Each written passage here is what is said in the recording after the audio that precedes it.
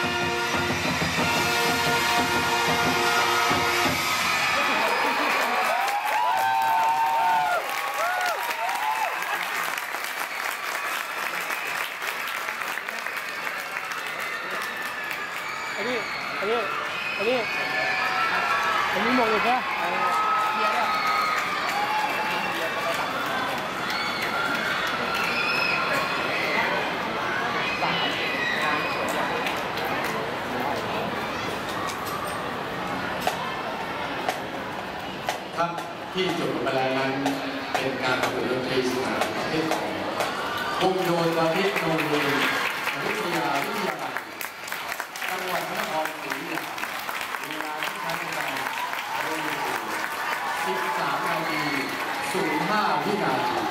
และเพลงที่ใช้ในการเรียนประกวดนะคะคือกลองกีฬามาร์ชธนาคานผ่านไทยและมาเรียน